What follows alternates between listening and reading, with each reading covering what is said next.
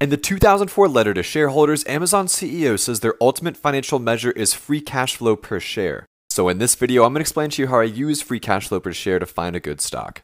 And this makes perfect sense, right? Because if a company has free cash flow, they have the ability to pay down debt, pay dividends, buy back stock, and overall just grow the company. And we definitely want to be investing in growing companies.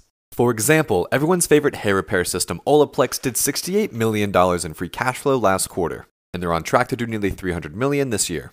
If they continue growing revenue by about 25 to 35% for the next few years, they'll do about 2.3 billion during calendar year 2026. They're running at about a 42% free cash flow margin, which I'm sure will continue to expand. But assuming only a 40% margin, they'll do about 950 in free cash flow in 2026 or $1.45 in free cash flow per share. The market tends to put a 35 times multiple on this, meaning their stock will be around $51 in 2026, representing a potential 105% return in 5 years.